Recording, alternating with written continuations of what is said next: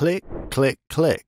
That's all you need to earn money online. And the best part is that you can do it without any effort, without any experience, and without much time spent. We're going to show you today how you can get paid for clicks. In fact, you can earn $4 for every 20 clicks. You don't need any technical skills or any prior experience. Even an absolute beginner can benefit from my unique methods. I'll show you how.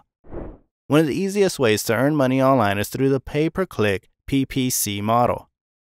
Common providers of PPC services include Google AdSense, Ezoic, Monumetric, Mediavine. With PPC advertising, ads will be displayed on your website and you'll be paid whenever someone clicks on them. Companies are paying Google and other PPC ad network providers to advertise through their ad network. Google then automatically chooses relevant sites within their network on which to place their ads. Now, why is PPC so popular? Getting paid per click is the most popular way to generate money from your blog.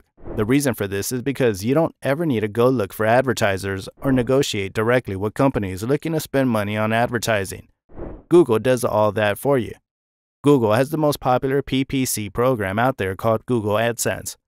This program allows publishers, bloggers, and owners of any website to insert a little bit of HTML code on their website and have ads displayed to their website's visitors.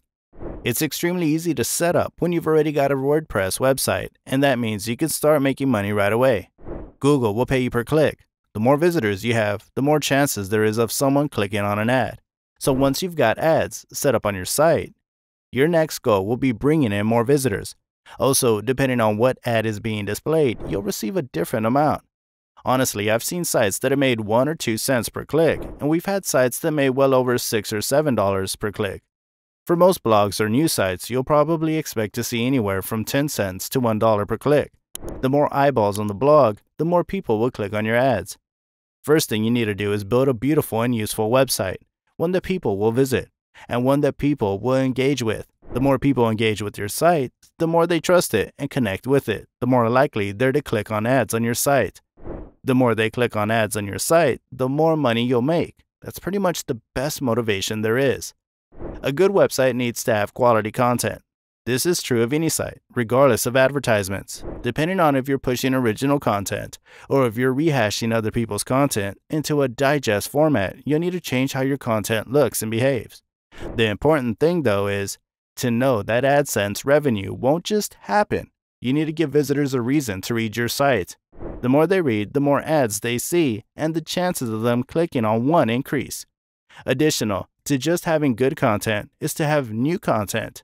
New content brings readers back for more, gives more chances for them to click on ads, and is good for SEO.